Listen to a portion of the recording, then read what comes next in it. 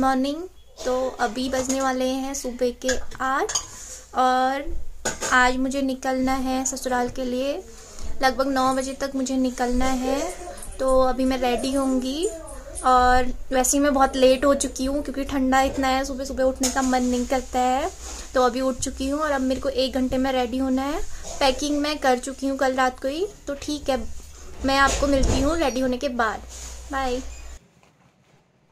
यहाँ पे मैं रेडी हो चुकी हूँ।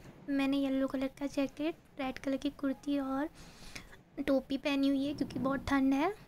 तो यहाँ पे ये मेरा लुक है फाइनल क्योंकि ठंड बहुत है। हे hey गाइस तो यहाँ पे मैं रेडी हो चुकी हूँ अपने ससुराल जाने के लिए।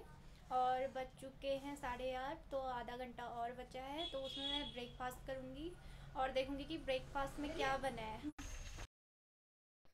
तो यहाँ पे बन रहा है पराठा।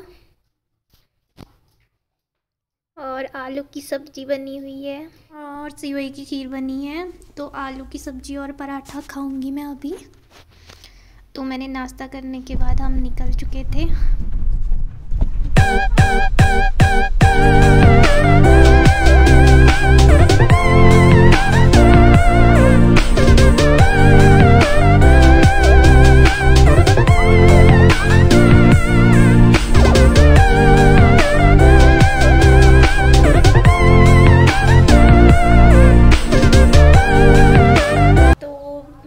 ससुराल में पहुँच चुकी हूँ। और यहाँ बहुत ठंड हो रही है तो देखो, मेरे गाल भी बिल्कुल लाल लाल हो चुके हैं यहाँ की ठंड की वजह से, और तबीयत भी बिल्कुल ठीक नहीं है जुकाम वगैरह लगा हुआ है। तो आज मैं आपको अपने ससुराल का व्यू दिखाऊँगी, कि मेरा ससुराल कहाँ है करके। ये मैं अपनी छत पे आ चुकी हूँ तो छत से ये नज़ारा दिखता है। ये देख सकते हो आप।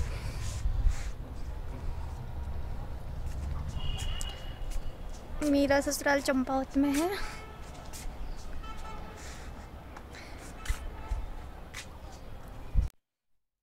तो गाइज़ आज के लिए बस इतना ही।